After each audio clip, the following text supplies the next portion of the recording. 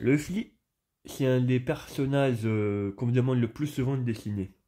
Et euh, avec le temps, j'ai appris à le dessiner. À le dessiner un peu différemment, vous allez voir. C'est un personnage que j'affectionne par rapport à ses longs bras, ses gros poings. On peut vraiment faire quelque chose de puissant avec ce dessin. Donc vous allez commencer par me faire un rond pour la tête de Luffy, puisqu'il a une tête ronde. Ensuite, un demi-cercle. Et là, vous allez lui faire un chapeau de paille. Voilà, un chapeau. Voilà, là, on voit bien que c'est de, la- on voit bien que c'est de la paille. Si vous avez plus de temps, vous, faites plus de traits. Il a des gros yeux, comme ça. Un sourire, parce que c'est un mec qui est toujours le sourire. Luffy, il est assez maigre. Et on, peut lui faire des grands membres, parce qu'il est élastique. Là, vous lui faites un t-shirt. Et là, vous lui faites des bras. ah ouais, j'adore le dessiner ce- celui-là. Avec les points comme ça.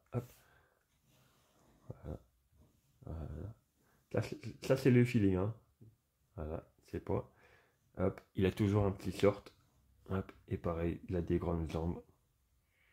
Et on peut lui faire des, des pieds comme ça. Hop. Et on peut même lui faire des, des orteils qui partent plus loin que les autres, comme ça. Parce qu'il est vraiment élastique. Donc voilà, là on met un L pour bien se rendre compte que c'est Luffy, le pirate au chapeau de paille. Voilà, qu'est-ce que, qu'est-ce que vous en pensez?